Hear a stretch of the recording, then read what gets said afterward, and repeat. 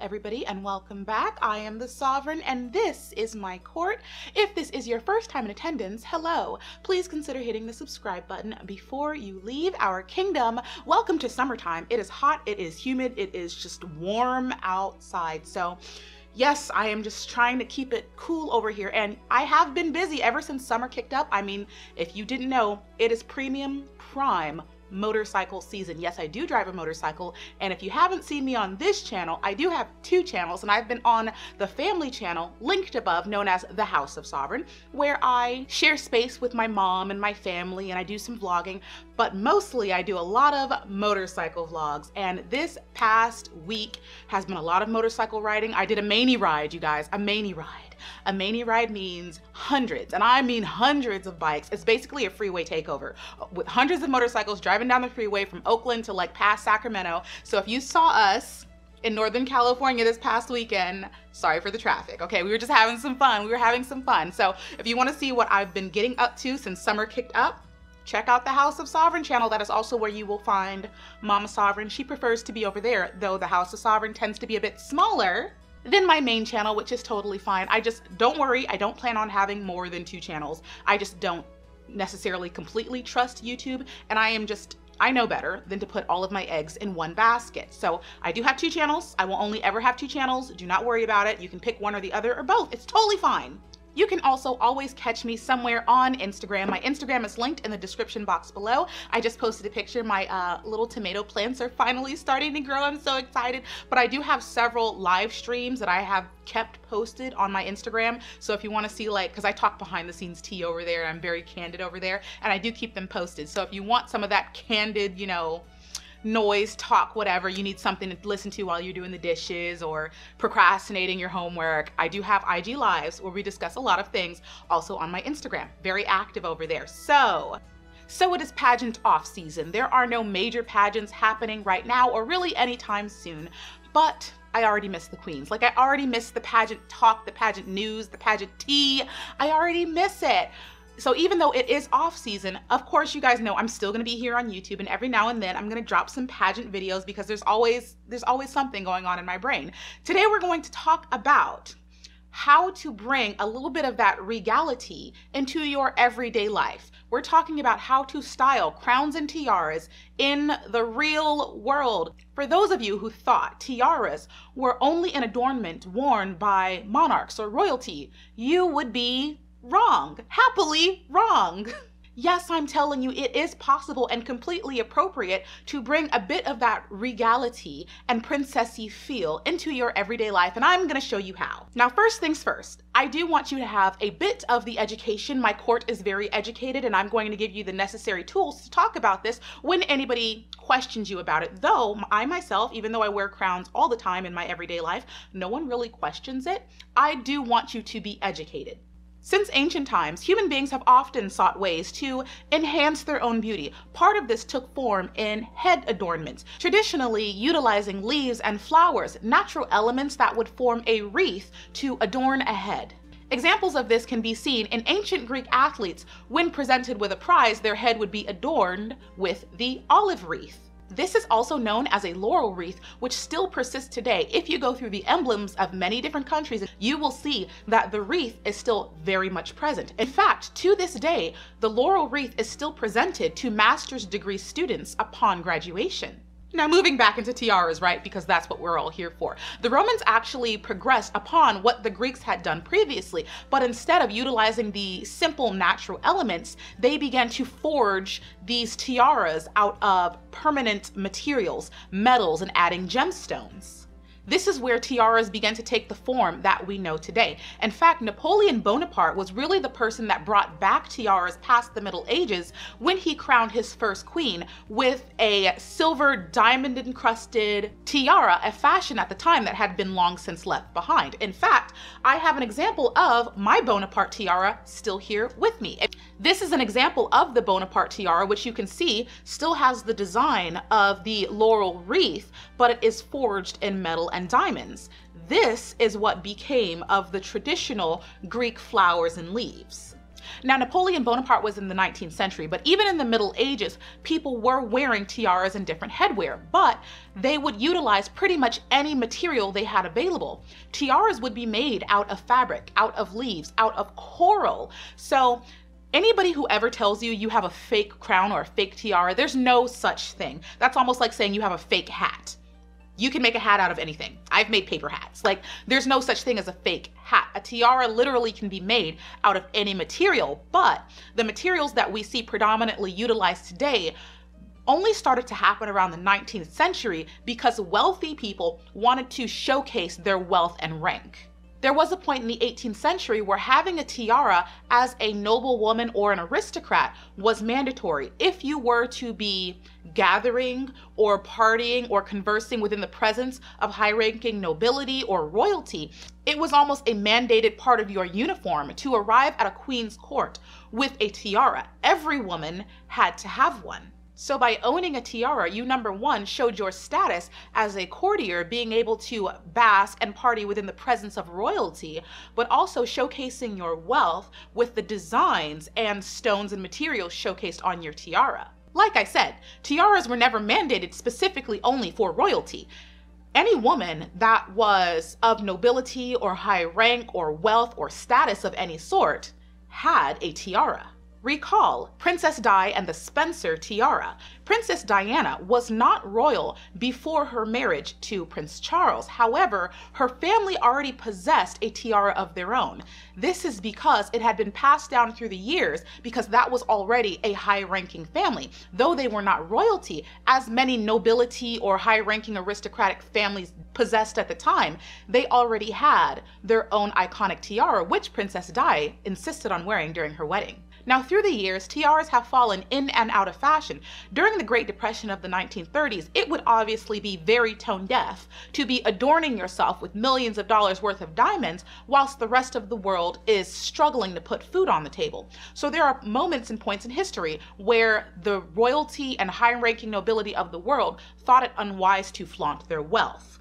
But tiaras definitely came back in the 1940s and 50s, and you can see women such as Elizabeth Taylor and Grace Kelly wearing their own diamond tiaras on the red carpet and fashion events and late night galas. Now, in the year 2021, is the average person typically sporting a tiara? No. Not to say that you can't, but it's not necessarily in fashion right now, and most people assume that tiaras are specifically for royalty, which, as I have said, you would be wrong brides have hung on to this tradition to this day. Traditionally, crowns and tiaras were only worn by married women, obviously married women of status. So it was of a monumentous moment for a bride to be able to wear her first tiara upon her wedding day, which we see continuing to this day where brides are still wearing tiaras on top and underneath their veils. Though I'm sure this comes as a surprise to some of us pageant fans who are well aware that the pageant queens are not allowed to be married, are in fact mandated to be single in order to be bestowed a crown. Actually, pageants go against their tradition because they were meant for married women. Though there are some distinctions to be made about the different types of headwear that most people just assume under the entire umbrella of crown or tiara, they are not all the same thing. A crown is a full circle head adornment that goes all the way around a head. It fully encompasses a head. This is a crown. This is supposed to be worn by heads of state or true monarchs. An actual crown actually is reserved for royalty, specifically heads of state. I'm not talking princesses like Will and Kate, they cannot wear a crown. I'm talking specifically the queens crowns. We see actual crowns being worn by Miss Grand and Miss World. I am currently wearing my Andromeda tiara. A tiara is a half circle. Unlike a crown, it does not encompass the entire head. It is open at the back end. This is a tiara. Tiaras that we are very familiar with is that of the Mouawad tiara worn by Miss Universe. Beyond that, we have diadems and circlets, which can be confused as the same thing, but this is an example of a diadem the diadem that a lot of you are probably familiar with is Rowena Ravenclaw's diadem of Hogwarts. Diadems are typically going to have some sort of adornment or jewelry hanging down low onto your forehead or, you know, your skin. So this would be like a diadem. And, note, this diadem does have the traditional leaf designs that originally came from the Greeks themselves. Tradition and history transcends. And then there's the circlet. Here's a picture of me wearing my circlet, though it does have a bit of a unique design. Circlets are typically a full circle and were implemented during the medieval times and not really worn by many people today, except for yours truly. I think this is also to be mentioned. This is a coronet. A coronet is also worn by Miss International. So now that you know a bit of the history of crowns, tiaras, circlets, diadems, you know the difference, you know what they are, you know the tradition a little bit. Of course, there's a bit of research that you can do on your own if you really want to get in depth like I have. But there's no need to be a complete nerd about it, okay? Because now we need to figure out, okay, well, how can I wear this in my everyday life? Like spill, spill, sis, spill. How do I, how do I make this happen? I got you if you're truly wanting to wear a crown during your everyday life. Now, number one, if you're confident and you have no problem wearing whatever the hell you want, then do what you want and you really don't need this video. But this video is really catered to those people who really want to wear it in a serious way without looking childish or you know looking like they're attention seeking. Um, i understand what you are thinking. A crown is like any other piece of jewelry. It is a jewelry item the same as a necklace the same as a ring the same as earrings. It is a piece of jewelry and you want to think of it as such. So thinking in the terms of a necklace, you do not want to wear your biggest, most flamboyant, most expensive necklace to brunch. Usually you wouldn't do that. You could, but traditionally, that would be frowned upon. You're not going to wear giant diamonds and emeralds and rubies and complete like wedding jewelry to brunch. You want to think of your tiaras in the same way. Another tradition that the pageant community largely ignores is the fact that Typically, the most grand tiaras and crowns were only worn for evening events. Obviously, we do not follow this. So when choosing what tiara you want to wear, you have to take into account the time of day and what your plans are for that day. You will see the Queen of England only specifically wears her most precious and prized and expensive jewelry during her most formal engagements.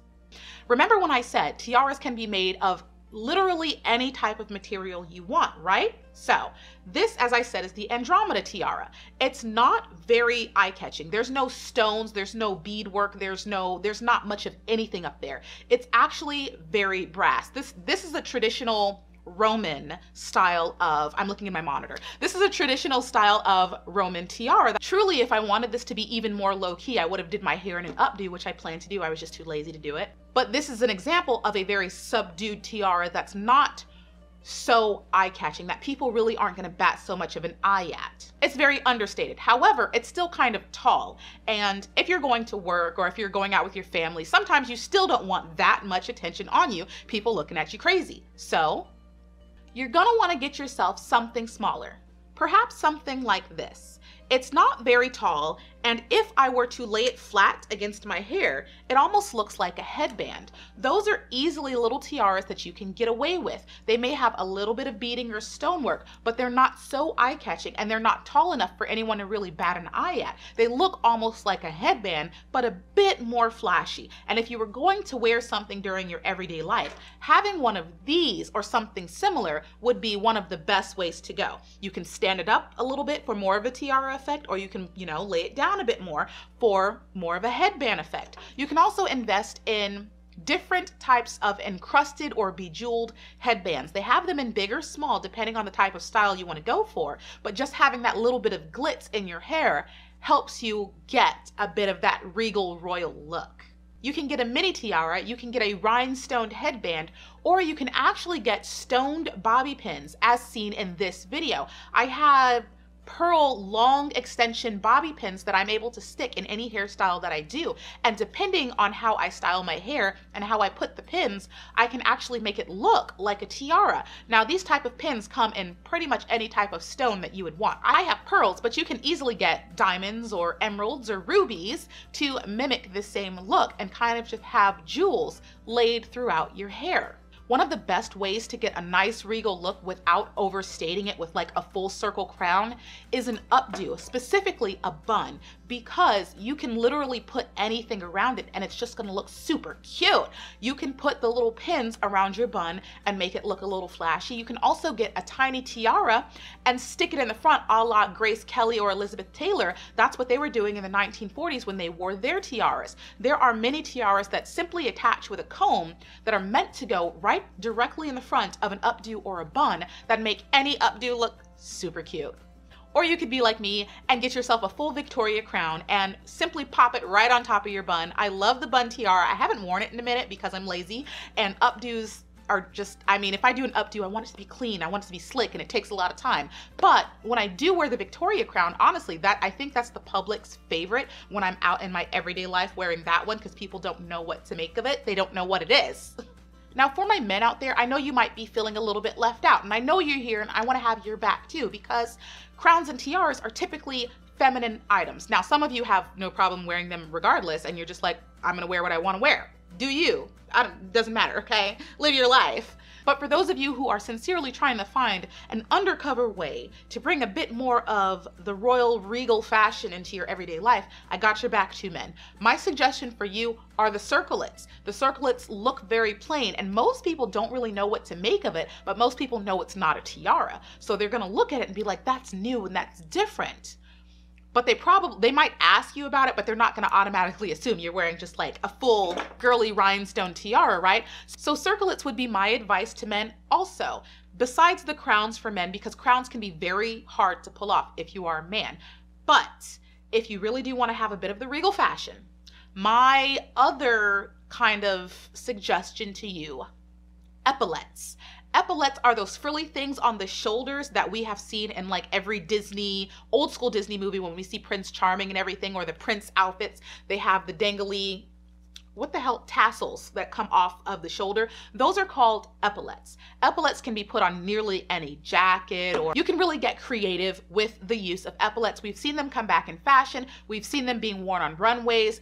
Um, I'm going to have a custom jacket made with epaulets on them, but if you are a man and you really want to have that princely look or effect without throwing a crown on, I suggest epaulets. Put it on your jacket, sweatshirt, find a way to work it in instant Prince Charming babe. Now, as sovereign in this court, I have the authority to make my own traditions and break any rules that I want, and I grant you the authority to do so as well. Wear whatever tiara or crown you wish, whatever makes you happy. If anyone dare question your decision, just tell them the sovereign said so. And send them to me. By all means, live your happy life. I'll deal with them. In the comments section below, let me know what you think about your new freedom to wear tiaras as you please. Are you going to try to invest in a crown? Are you going to try to wear one? Do you already wear one? When do you wear one? How many crowns are in your collection? Don't ask me how many are in mine, okay? You don't need to know. Yeah, and I'm not being defensive. I'm not being defensive. I know I have too many crowns, but I just can't help myself. I have one for all the different types of styles that I wear, and it's great. Okay, but just leave your thoughts in the comments section below. Make sure you give the video a thumbs up, and like I said, if this is your first time, or maybe you've forgotten, Please consider hitting the subscribe button. I would love to see your fabulous face again. I love you, I'll miss you, and you know I will be back in a future video. Bye!